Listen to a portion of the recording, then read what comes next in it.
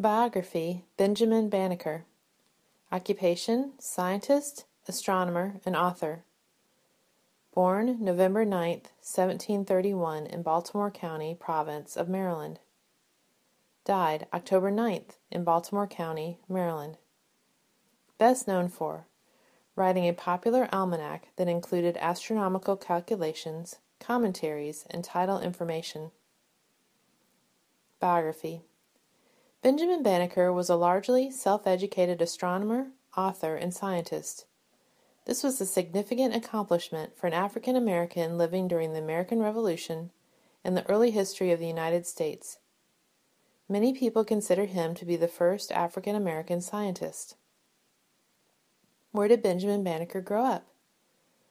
Benjamin Banneker was born in Baltimore County on November 9, 1731. Unlike most black children of his day in America, Benjamin was born a free man and not a slave. He grew up on his family's farm, where he worked hard even as a child.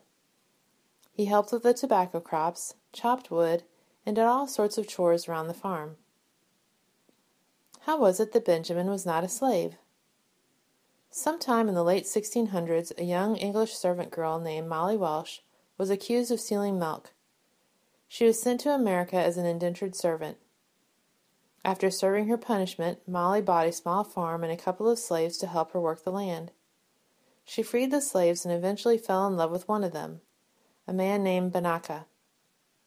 Molly and Banaka had four children. One of their daughters, Mary, married a free slave named Robert. In 1731, Mary and Robert had Benjamin. Because both of his parents were free, so was Benjamin.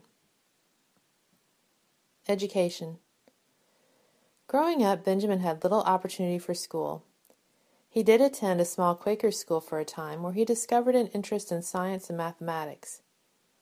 Even when he couldn't attend school, Benjamin borrowed all the books he could so he could continue learning. He became known in the region as an intelligent young man who could fix machines and work out math problems. Building a clock. Benjamin's legend continued to grow when he built his own clocks. Clocks were very rare in America at the time. The story goes that Benjamin met a merchant with a watch. He made detailed drawings of the internal pieces of the watch and studied how it worked. Then, over several years, Benjamin built a larger version of the watch out of wood, constructing his own working clock. Astronomy and Surveying As Benjamin grew older, he began to take interest in the stars. He read books on astronomy and used math to calculate the movement of the stars. He even accurately predicted an eclipse of the sun. After the Revolutionary War, Benjamin began to use his skills as a surveyor. He got a job working on surveying and laying out Washington, D.C., the new capital city of the United States.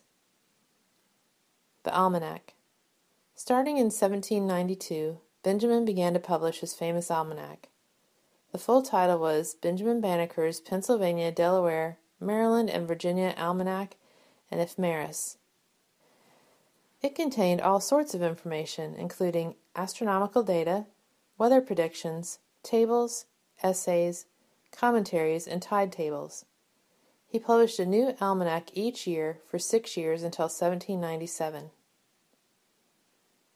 Thomas Jefferson and Slavery Benjamin hoped to see an end to slavery. He sent letters to Thomas Jefferson asking him to consider that all men were created equal, regardless of race.